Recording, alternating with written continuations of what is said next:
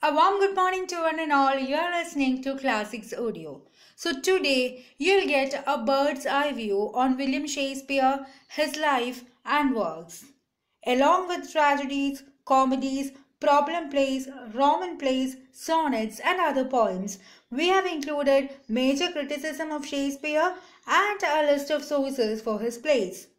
At the end, you'll also be getting a list of the plays by Shakespeare in its chronological order and another list of works by him which you should need to really concentrate for your coming NTA UGC NET JRF examination. So without wasting much time, let's get started. So let's begin from the lifespan of Shakespeare. It spans between 1564 to 1660. As we all know, he is a famous dramatist, actor, man of the theatre and poet. His birth is traditionally celebrated on 23 April which is also known to have been the date of his death. So for Shakespeare, April 23 serves both as his birth as well as death date. Then the standard and kind of education indicated by Shakespeare's writing, such as he might have received at the local grammar school, whose records for the period are lost. On 28 November 1582, a bond was issued permitting him to marry Annie Hathaway of Shottery, a village close to Stratford. She was eight years his senior. A daughter, Susanna, was baptized on 26 May 1583 and twins Hamnet and Judith on 2 February 1585. We don't know how Shakespeare was employed in early manhood. The best authenticated tradition is by John Aubrey. So according to John Aubrey, he had been or Shakespeare had been in his younger years a schoolmaster in the country. Nothing is known of his beginnings as a writer nor when or in what capacity he entered the theatre. Then Shakespeare became a leading member of the Lord Chamberlain's Men Theatre Company soon after their refoundation in 1594. With them, he worked and grew prosperous for the rest of his career as they developed. Thus, Chamberlain's men developed into London's leading company, occupying the Globe Theatre from 1599 becoming the king's men on James I's accession in 1603. So in 1603, the Chamberlain's Men Theatre Company was renamed as King's Men and Shakespeare became a leading member in King's Men. In March 1630, he and the actor or artist Richard Burbage received 44 shillings each for providing an impresa, that is a titling shield for the Earl of Rutland at a court tournament. This is Shakespeare's last non-literary enterprise.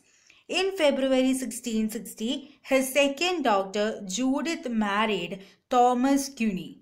He died according to the inscription on his monument on 23 April and was buried in Holy Trinity.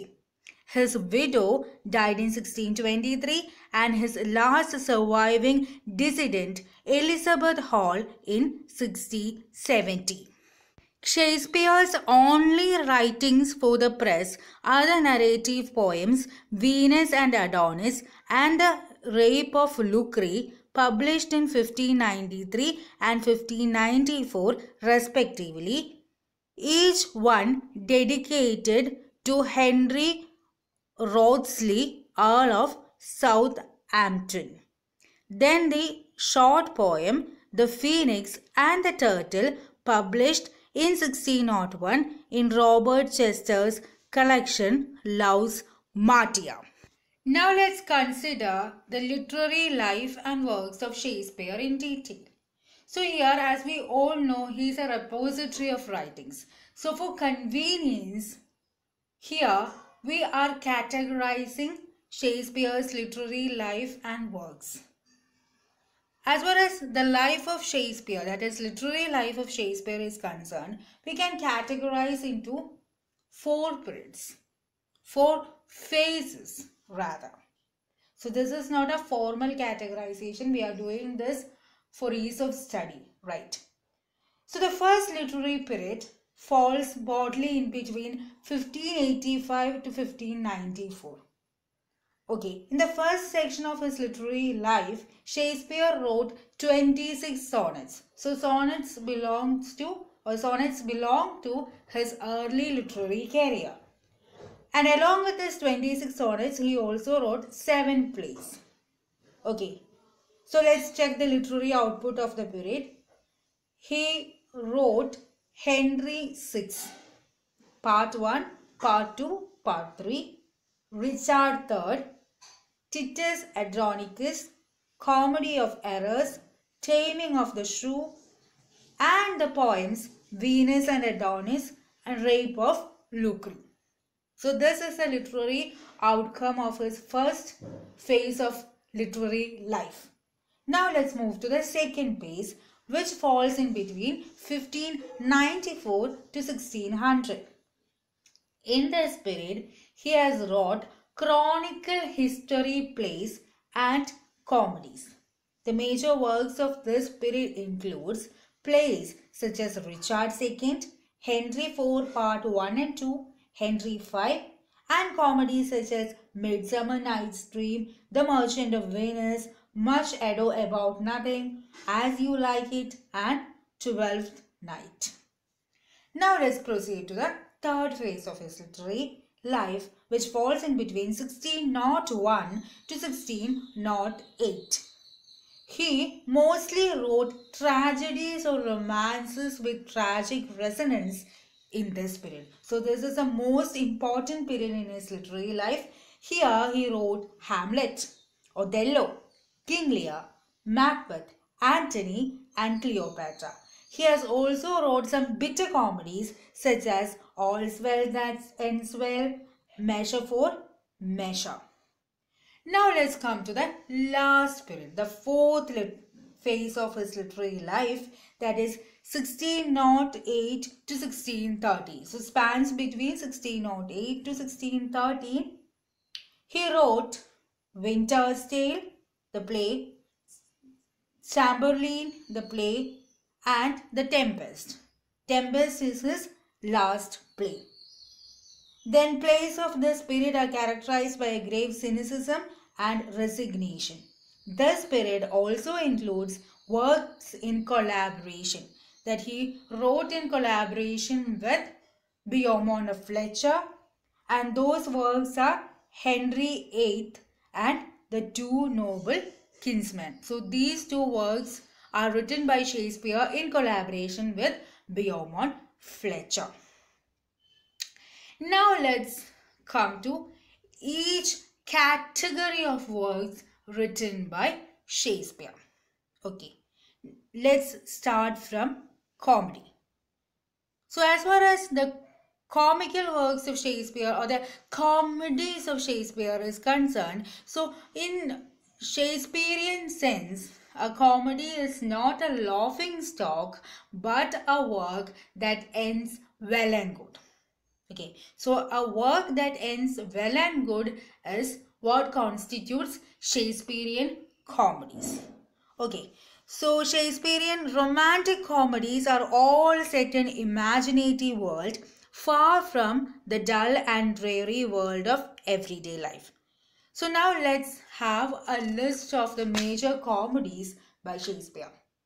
All's Well That Ends Well, The Comedy of Errors, Love's Labour's Lost, Merchant of Venice, Taming of the Shrew, Twelfth Night, Merry Wives of Windsor, A Midsummer Night's Dream, Much Ado About Nothing, The Two Gentlemen of Verona, The Winter's Tale, As You Like It, Cymbeline, Measure for Measure, Pericles, The Tempest. So these are the major comedies written by Shakespeare. Now let's come to major tragedies written by Shakespeare. Okay, so we have here we have to note that what is a tragedy? In Shakespearean sense, the tragedy ends with the death of the tragic hero. So, who is a tragic hero?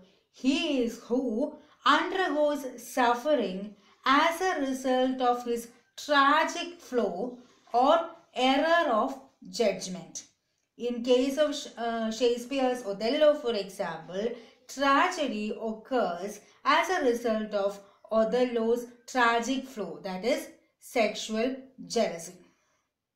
So, however, even though the hero dies, a moral order is eventually restored at the end of Shakespeare's tragedies.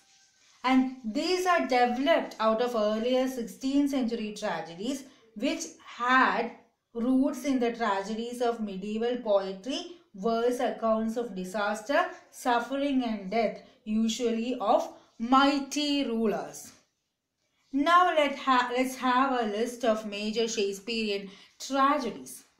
Let's begin from Romeo and Juliet, Macbeth, King Lear, Hamlet, Othello, Titus, Andronicus, the tragedy of Julius Caesar, Antony and Cleopatra, Coriolanus, Cymbeline, the life of Timon of Athens, the history of Troilus and Cressida. So you can see some overlapping here that some plays are included both in comedies and tragedies. Okay, now let's come to Shakespeare's history plays. Okay, here Shakespeare's history plays usually have episodic plots, unified primarily by the presentation of significant events from the reign of one monarch. So it concentrates the reign of a single monarch. They reflect the political ideology of the chronicle history books as well as the personal bias of the playwright. They may usually contain elements of both tragedy and comedy or exhibit the traits of just one of these genres. For instance, in addition to being history plays, Shakespeare's Richard II and Richard III are tragedies. Henry IV Part 1 and Henry V are comedies. So that, that is what I am saying, that you can sense some overlappings. Then let's have a list of Shakespeare's major historical plays. King John, Richard II, Henry IV Part 2, Henry VI Part 1, Henry VI Part 3, then Henry VIII. Again Edward III, Henry IV Part 1, Henry V, Henry VI Part 2 and Richard III. Here you should remember that Richard III is also considered as a tragedy. Now let's get into Shakespeare's Roman plays. Though Julius Caesar, Antony, Cleopatra and Coriolanus are included under tragedies as we have already mentioned, they are also sometimes considered by critics in a separate category known as Roman plays. So why they are included in a separate category called Roman plays? All these plays are set in Rome, deal with similar subjects and make use of same source. So the source of all these plays constitutes Thomas North's translation of Plutarch's Lives. So for all Roman plays of Shakespeare, there is a single source called the translation of Plutarch's Lives by Thomas North. Now, what are the common characteristics of the Roman plays by Shakespeare? They are all set in ancient Rome as we have already said and were staged in Roman costume and Roman sets. Blood, violence are important feature of these plays. Suicide is depicted as an important Roman custom. Brutus and Cassius, Antony and Portia are all commit suicide. So Brutus and Cassius and Julius Caesar, Antony and Portia, all they commit suicide and Coriolanus also submits to death at the hands of Volscians. So Shakespeare depicts the Romans as self-conscious, theatrical and historically aware characters. So these are the Roman plays by Shakespeare. Once again, Julius Caesar, Antony and Cleopatra, Coriolanus. Now let's get into another subcategory of Shakespeare's plays that is problem plays by Shakespeare. Okay. It was the critic Frederick S. Boas who first used the term problem plays for some of Shakespeare's plays in 1896. Though the term was not his coinage and was already in use before for writers like Ibsen and Shaw. So this the word called problem play is not coined by Frederick S. Boas but was used for the first time for Shakespearean plays by Frederick S. Boas. Now let's look into the details. Boas borrowed and adapted the term for Shakespearean use. So the three plays that are usually categorized as problem plays are All's Well That Ends Well, Measure for Measure, Troilus and Cressida. So all these plays were written between 1599 and 1605. Then, according to the critic Edward Dowden, these three plays of Shakespeare marked a change from Shakespeare's previous comedy works. All Well, That Ends Well was grave and earnest, Measure for Measure was dark and bitter, while Troilus and Cressida was strange and difficult.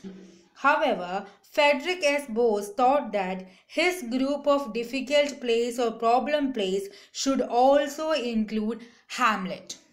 Okay, so according to Frederick S. Boas, problem plays by Shakespeare includes Hamlet also.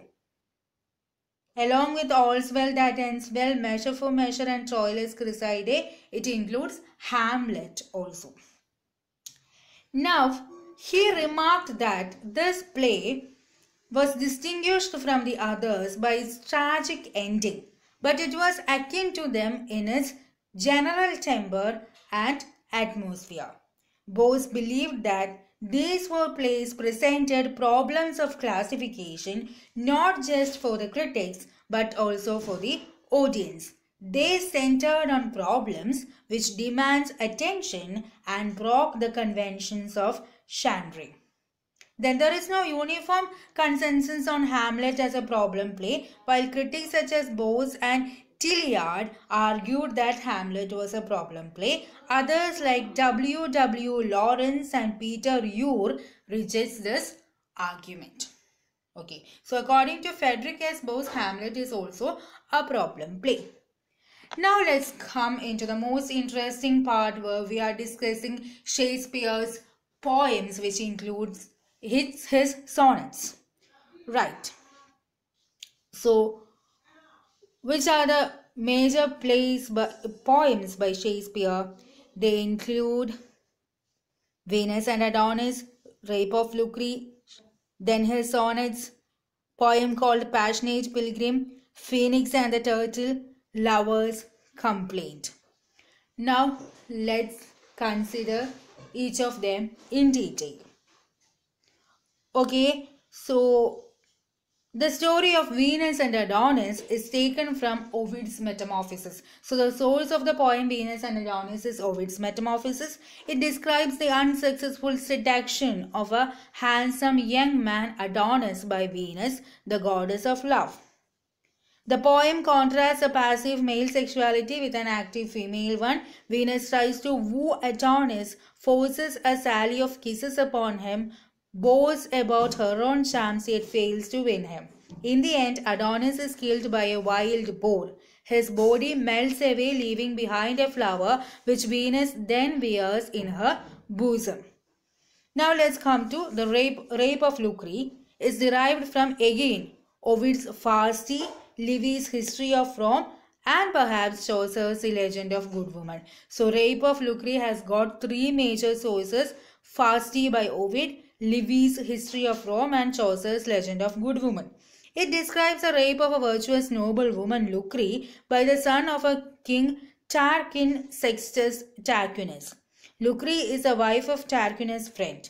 When Lucrece's father and husband arrive, she tells them about the rape and asks for vengeance. After this, she stabs herself to death. At the end, the entire Tarquin family is rooted out, deposed and banished. Now let's come to the next poem, Passionate Pilgrim. Passionate Pilgrim is a collection of poems by Shakespeare. However, only a few of these poems are today accepted as Shakespeare's. Phoenix and the Turtle is an allegorical poem in which birds die and become one in their love for each other. The Lover's Complaint, another poem, narrates the story of a young woman who laments over her seduction by a persuasive, womanizing young man. He eventually leaves her and breaks her heart. Now let's move to the sonnets by Shakespeare. Shakespeare's sonnets are addressed to a person called Mr. W. H. This dedication has led to a series of speculations as to the identity of this person. The two leading candidates are Henry Wriothesley, 3rd Earl of Southampton, and William Herbert, 3rd Earl of Pembroke. So these two persons might be Mr. W.H. that Shakespeare is referring to in his sonnets. They are usually, the sonnets are usually divided into three parts. That is sonnet 1 to 126. The poet strikes up a relationship with a young man. So poet's relationship with a young man is a theme of sonnets ranging from 1 to 126. Then sonnets 127 to 154 which are concerned with the poet's relationship with a woman variously referred to as the dark lady or as his mistress. Now let's move into another important part of this session where we are discussing major sources of Shakespearean plays. So let's consider each play and its source. If you feel this information helpful in boosting your preparation for UGC NET JRF exam, then please subscribe this channel, hit on the bell icon near to it and also select the all option to get notified of the future.